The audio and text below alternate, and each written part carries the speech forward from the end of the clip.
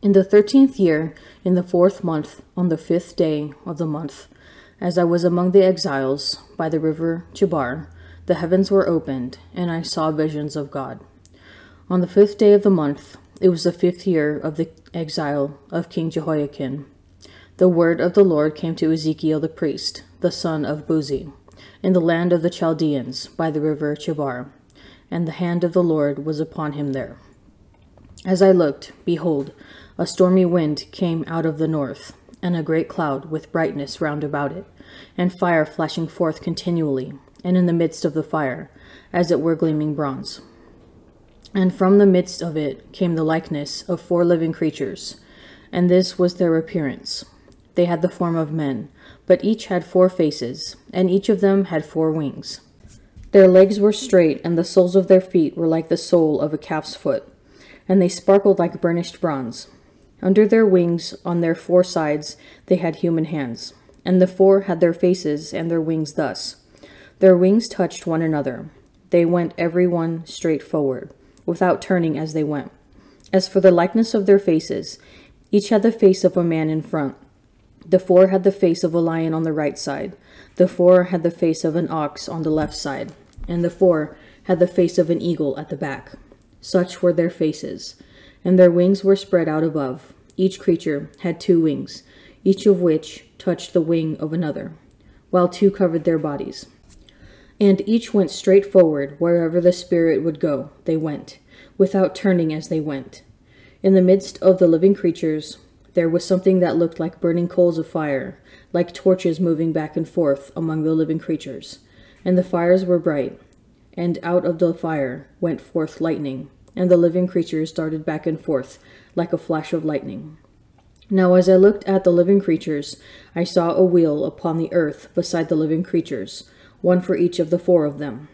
As for the appearance of the wheels and their construction, their appearance was like the gleaming of a chrysolite, and the four had the same likeness, their construction being as it were a wheel within a wheel. When they went, they went in any of their four directions without turning as they went. The four wheels had rims and they had spokes, and their rims were full of eyes round about. And when the living creatures went, the wheels went beside them. And when the living creatures rose from the earth, the wheels rose. Whenever the Spirit would go, they went. And the wheels rose along with them, for the Spirit of the living creatures was in the wheels. When those went, these went. And when those stood, these stood. And when those rose from the earth, the wheels rose along with them. For the spirit of the living creatures was in the wheels. Over the heads of the living creatures there was the likeness of a firmament, shining like crystal, spreading out above their heads.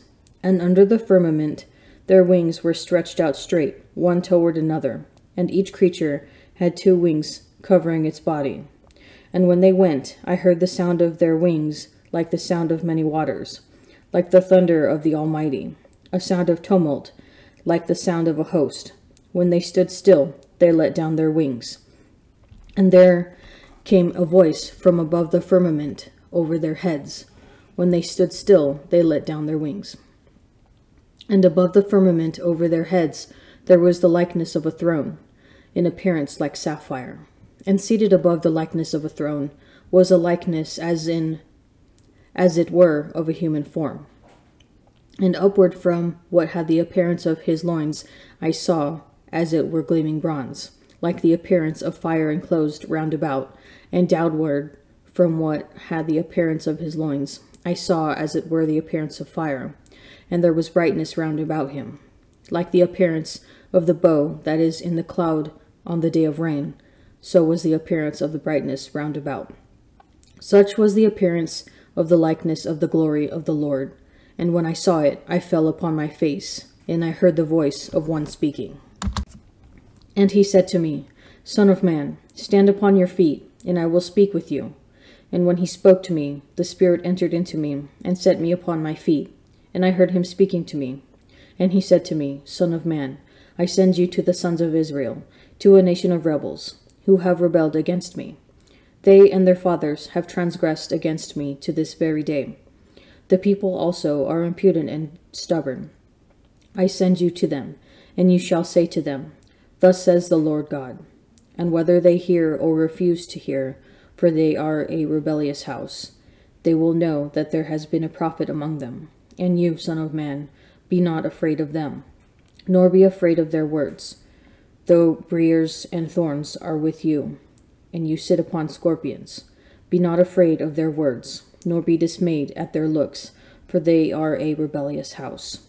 And you shall speak my words to them, whether they hear or refuse to hear, for they are a rebellious house. But you, Son of Man, hear what I say to you. Be not rebellious like the rebellious house. Open your mouth, and eat what I give you.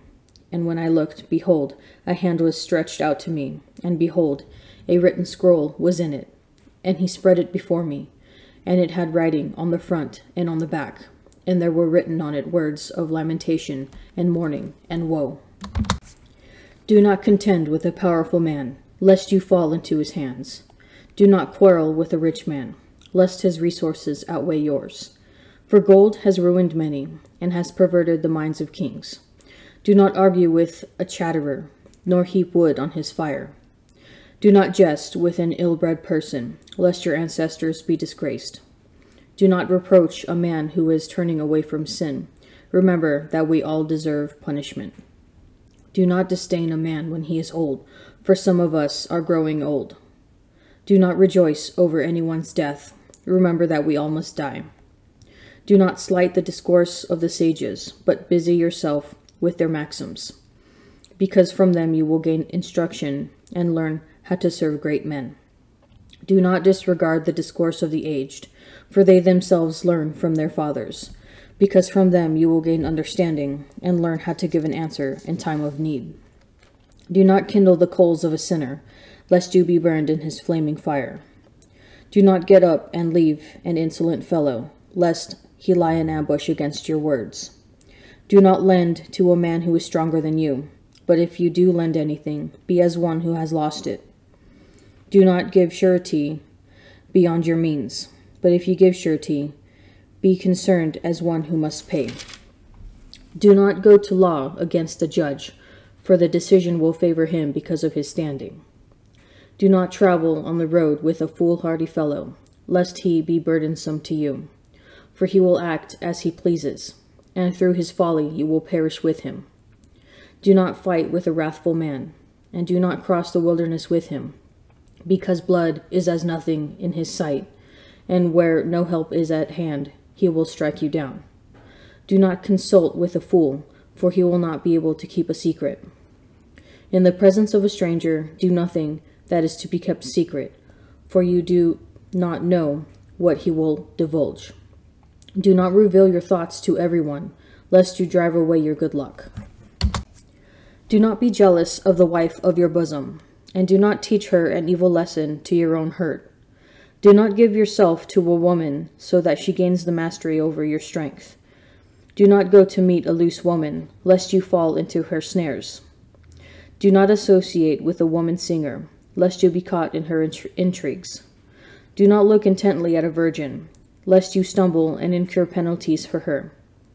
Do not give yourself to harlots, lest you lose your inheritance. Do not look around in the streets of a city, nor wander about in its deserted sections. Turn away your eyes from a shapely woman, and do not look intently at beauty belonging to another. Many have been misled by a woman's beauty, and by it passion is kindled like a fire.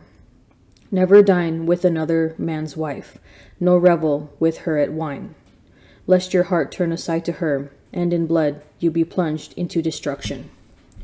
Forsake not an old friend, for a new one does not compare with him. A new friend is like new wine. When it has aged, you will drink it with pleasure.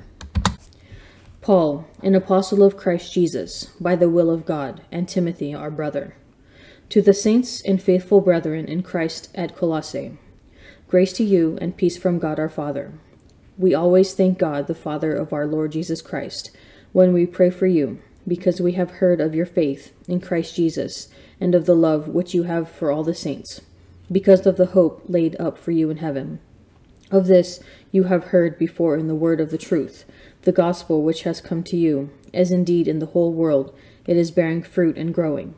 So among yourselves, from the day you heard and understood the grace of God in truth, as you learned it from Epaphras, our beloved fellow servant.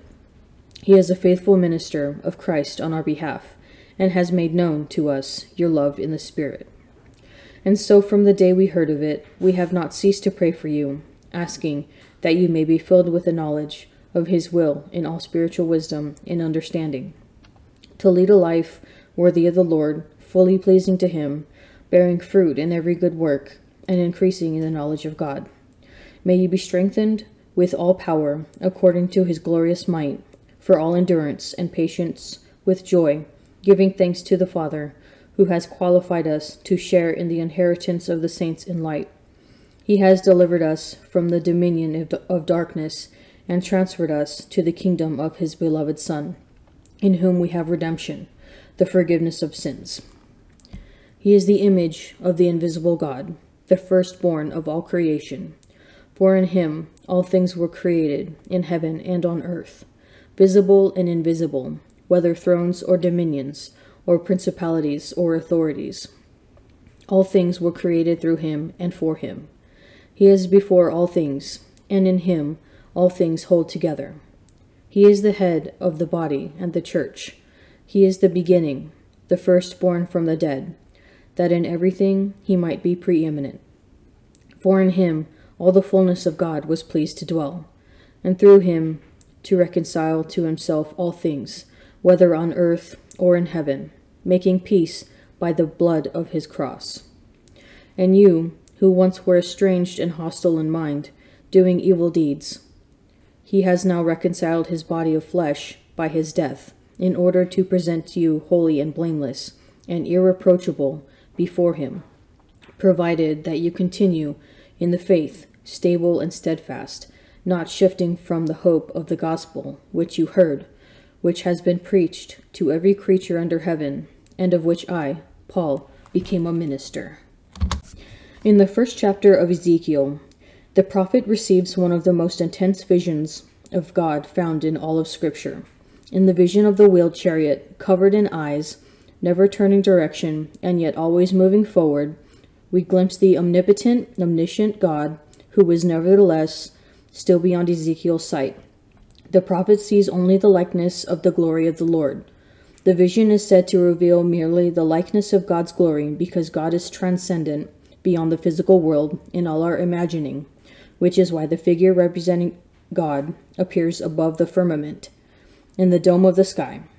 Truly, this is the God of whom St. Paul speaks, the creator of all, the one in whom all things hold together.